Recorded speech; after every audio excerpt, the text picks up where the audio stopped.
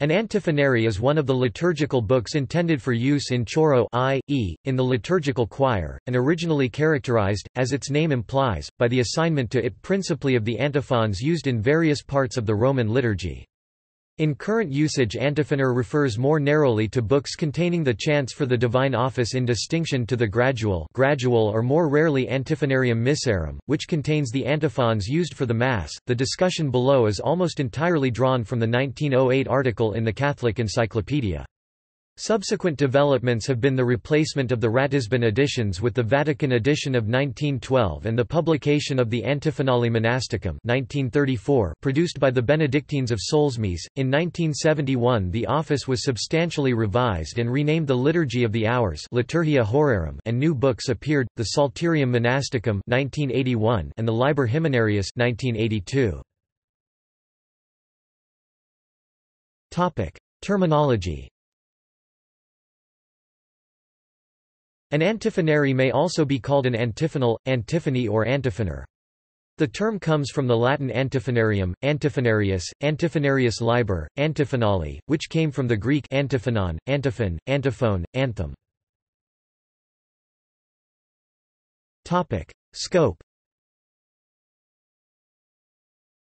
It thus included generically the antiphons and antiphonal chants sung by cantor, congregation, and choir at Mass antiphonarium missarum, or gradual and at the canonical hours antiphonarium officii, but now it refers only to the sung portions of the divine office or breviary. Other English equivalents for antiphonary are antiphoner still in reputable use and antiphoner considered obsolete by some English lexicographers, but still sometimes used in current literature. In the Prioress Tale of Chaucer it occurs in the form, antiphonare. He alma redemptoris heard sing. As children learned here antiphonare, the word antiphonary had in the earlier Middle Ages sometimes a more general, sometimes a more restricted meaning. In its present meaning it has also been variously and insufficiently defined as a collection of antiphons in the notation of plain chant, and as a liturgical book containing the antiphons and other chants. In its present complete form it contains, in plain chant notation, the music of all the sung portions of the Roman breviary immediately placed with the texts, with the indications of the manner of singing such portions as have a common melody such as versicles and responses, the psalms, the lessons, the chapters. But the lessons of Matins first nocturne in the Triduum of Holy Week, styled Lamentations, have a melody proper to themselves, which is not therefore merely indicated but is placed immediately with the texts of the lessons. Ratisbon edition The so-called Ratisbon edition of the Roman antiphonary, entitled Antiphonarium et Psalterium juxta ordinem breviari Romani cum cantu sub auspices P. Et Leonis XIII Pontiff. Maxim, Reformato. Cura et auctoritate s ritum congregationis digestum Romae, edited by Friedrich Pustet, 1879 was most widely used in the late 19th century, and commended for use in all the churches of the Catholic world by Pius IX and Leo XIII. The first of these volumes to be issued, entitled, Tomus II, Continens Horis Diurnus Brevari Romani Vesperal, contained the antiphons, psalms, hymns and versicles of the canonical hours styled Horae Diurna, i.e. Lauds, Prime, Terce, Sext, None, Vespers and Compline. It comprised in one volume what in some editions had been distributed in several, such as the Antiphonarium, in a very restricted sense, the Psalterium, the Hymnarium, the Responsoriale, the office of Matins was divided into the other two volumes, one of which contained the invitatories, antiphons, hymns, etc., of Matins for the proprium de tempore proper of the season, and the other, for the commune sanctorum common office of the saints and the proprium sanctorum proper office of the saints. A brief study of the divisions and arrangement of the Marquis of Bute's translation into English of the Roman Breviary will make clear from the above description the general character of a complete Roman antiphonary. It is suggested by some that this Ratisbon edition has lost its authentic and official character by virtue of the motu proprio, the 22nd of November 1903, and the decree of the Sacred Congregation of Rites, the 8th of January 1904. Pope Pius X rejected the Ratisbon edition and ordered the creation of a new Vatican edition, in which both the texts and the melodies were to be revised in order to bring them into conformity with the results of recent paleographic studies in Gregorian chant. Scope continued In order to show as clearly as possible the exact position of the antiphonary as the word is now used amongst the liturgical books, it is proper to recall that the Roman Missal contains all the texts used at Mass, the Roman Breviary, all the texts used in the Divine Office or canonical hours. While in the Missal, the introits, graduals, tracts, sequences, offertories, communions, as well as the texts of the Kyrie, Gloria, Credo, Sanctus, and Agnus Dei are both read by the celebrant and sung by the choir, their notation is not given, only the accentus or chants, of the celebrant and deacon have the music furnished such as the intonations of the Gloria, the Credo, the chants of the various prefaces, the two forms of the Pater Noster, the various forms of the Ite, or Benedicamus, the blessing of the font, etc. The omitted chants styled concentus, which are to be sung by the choir, are contained in a supplementary volume called the Gradual or Liber Gradualis, anciently the Gradale. In like manner, the Roman breviary, practically entirely meant for singing in choro, contains no music, and the antiphonarium performs for it a service similar to that of the Liber Gradualis for the Missal. Just as the Liber Gradualis and the Antiphonarium are, for the sake of convenience, separated from the Missal and Breviary respectively, so, for the same reason, still further subdivisions have been made of each. Into those of the gradual we need not enter. The Antiphonarium has been issued in a compendious form. For the large number of churches in which the canonical hours of the divine office are sung only on Sundays and festivals. This Antiphonarium Romanum compendios redactum ex editionibus typicus, etc. Includes, however, the chants for the Masses of Christmas, the Triduum of Holy Week, and other desired offices, and is issued in a single volume. Another separate volume is the Vesperal, which contains also the office of Compline, and of the Vesperal. A further compendium has been issued, entitled Epitome ex Vesperali Romano, all the above volumes are in the Ratisbon edition. Associated somewhat in scope with the antiphonarium is the Directorium Chori, which has been described as furnishing the ground plan for the antiphonary, inasmuch as it gives or indicates all the music of the chants except the responsories after the lessons, the tones of the psalms, the brief responsories, the Venite ex Sultimus, the Te Deum, litanies etc. The text of all the psalms, the full melody of the hymns, and the new feasts were added to the official edition of the Directorium in 1888. The word antiphonary does not therefore clearly describe the contents of the volume or volumes thus entitled, in which are found many chants other than the antiphon technically so called, such as hymns, responsories, versicles, and responses, psalms, the Te Deum, the Venite Adoremus, and so forth. The expression, antiphonal chant, would, however, comprise all these different kinds of texts and chants, since they are so constructed as to be sung alternately by the two divisions of the liturgical choir, and in this sense the word antiphonary would be sufficiently inclusive in its implication. On the other hand, the corresponding volume for the chants of the Mass, namely the gradual or liber gradualis, Includes many other kinds of liturgical texts and chants in addition to the graduals, such as introits, tracts, sequences, offertories, communions, as well as the fixed texts of the Ordinarium Missae, or Kyriale. It may be said, then, that these two books receive the names Antiphonarium and Gradual from the technical name of the most important chants included in them. Fundamentally all the chants, whether of the Mass or of the Divine Office, are sung antiphonally, and might, with etymological propriety, be comprised in the one general musical title of antiphonary. Repertory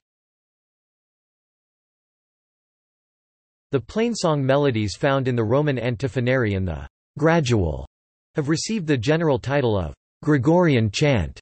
In honor of Pope Gregory the Great 540 to whom a tradition, supported by internal and external evidence, ascribes the work of revising and collecting into the various texts and chants of the liturgy.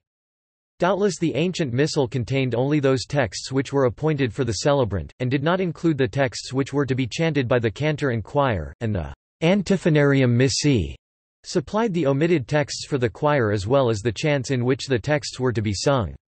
The importance of the Gregorian antiphonary is found in the enduring stamp it impressed on the Roman liturgy.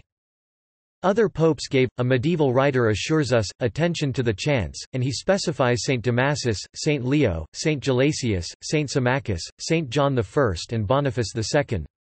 It is true, also, that the chants used at Milan were styled, in honor of Saint Ambrose called the father of church song, the Ambrosian chant. But it is not known whether any collection of the chants had been made before that of Saint Gregory, concerning which his 9th-century biographer, John the Deacon, wrote, Antiphonarium Centonime, compilivit.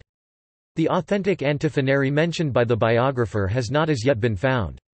What was its character? What is meant by cento? In the century in which John the Deacon wrote his Life of the Saint, a cento meant the literary feat of constructing a coherent poem out of scattered excerpts from an ancient author, in such wise, for example, as to make the verses of Virgil sing the mystery of the Epiphany. The work, then, of Saint Gregory was a musical cento, a compilation centonime, compilivit of pre-existing material into a coherent and well-ordered whole. This does not necessarily imply that the musical centonization of the melodies was the special and original work of the saint, as the practice of constructing new melodies from separate portions of older ones had already been in vogue two or three centuries earlier than his day. But is it clear that the cento was one of melodies as well as of texts? In answer it might indeed be said that in the earliest ages of the Church the chants must have been so very simple in form that they could easily be committed to memory, and that most of the subsequently developed antiphonal melodies could be reduced to a much smaller number of types, or typical melodies, and could thus also be memorized. And yet many say that it is scarcely credible that the developed melodies of St. Gregory's time had never possessed a musical notation, had never been committed to writing. What made his antiphonary so very useful to chanters as John the Deacon esteemed it was probably his careful presentation of a revised text with a revised melody, written either in the characters used by the ancient authors as set down in Boethius or in neumatic notation. We know that St. Augustine, sent to England by the great pope, carried with him a copy of the precious antiphonary, and founded at Canterbury a flourishing school of singing. That this antiphonary contained music we know from the decree of the Second Council of Cloveshoe 747 directing that the celebration of the feasts of our Lord should, in respect to baptism, masses and music in cantilene modo follow the method of the book, which we received from the Roman Church. That this book was the Gregorian antiphonary is clear from the testimony of Egbert, Bishop of York 732 who in his De Institution Catholica speaks of the antiphonarium and missale, which the blessed Gregory, sent to us by our teacher, blessed Augustine.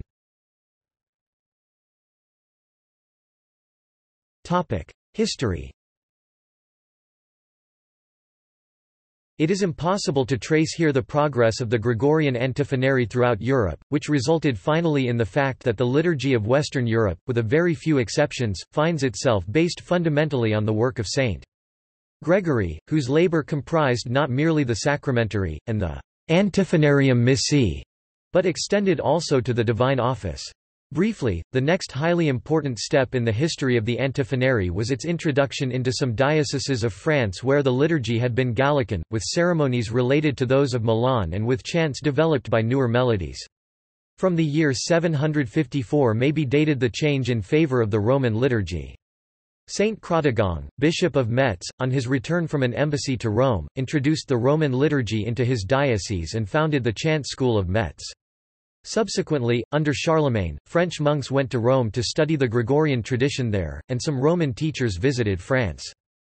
The interesting story of Ekkehard concerning Petrus and Romanus is not now credited, but a certain Petrus, according to Notker, was sent to Rome by Charlemagne and at the Abbey of St. Gall trained the monks in the Roman style.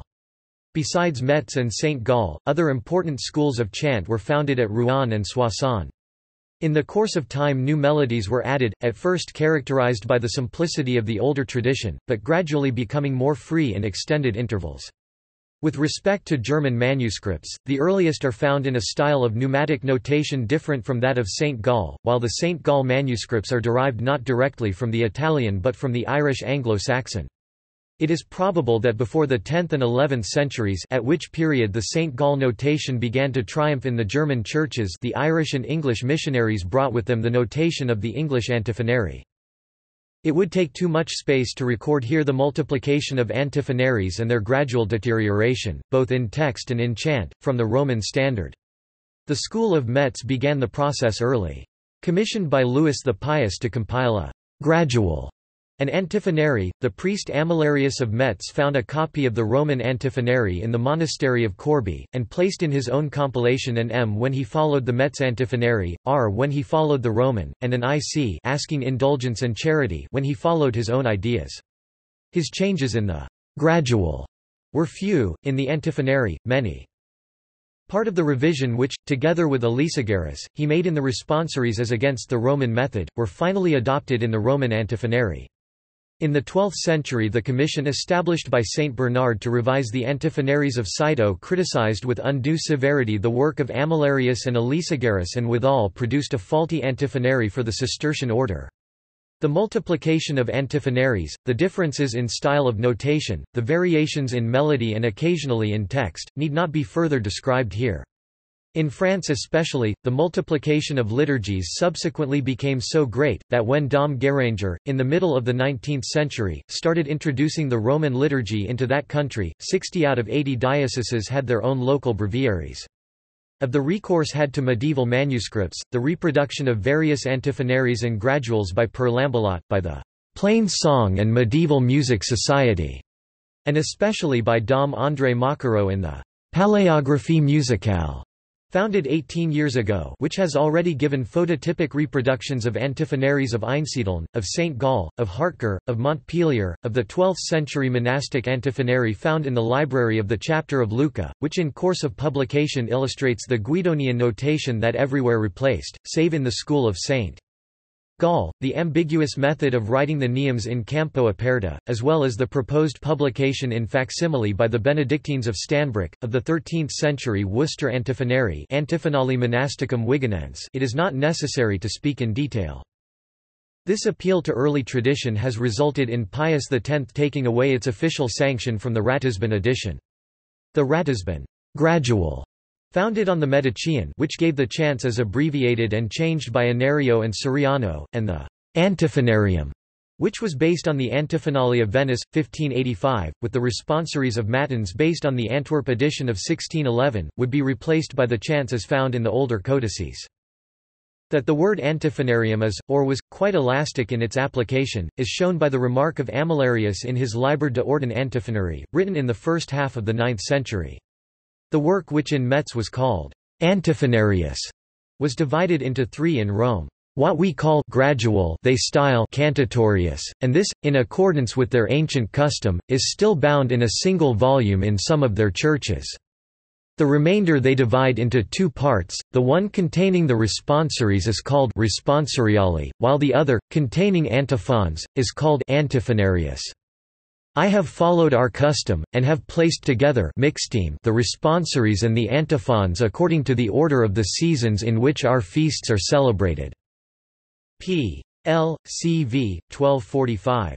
The word, cantatory, explains itself as a volume containing chants, it was also called gradual, because the chanter stood on a step of the ambo or pulpit, while singing the response after the epistle. Other ancient names for the antiphonary seem to have been liber officialis office book and capitulare, a term sometimes used for the book containing the epistles and gospels. The changes in the antiphonary resulting from the reform of the Roman breviary ordered by the Council of Trent and carried out under Pius V is treated under breviary. The term antiphonarium, printed as a title to many volumes, is made to cover a very varied selection from the complete antiphonary. Sometimes it means practically a vesperal, sometimes with terce added, sometimes with various processional chants and blessings taken from the processionale and ritual. These volumes meet the local usages in certain dioceses with respect to church services, and offer a practical manual for the worshipper, excluding portions of the divine office not sung in choir in some places and including those portions which are sung. See also names of antiphonaries, as Armagh, Antiphonary of Bangor etc. References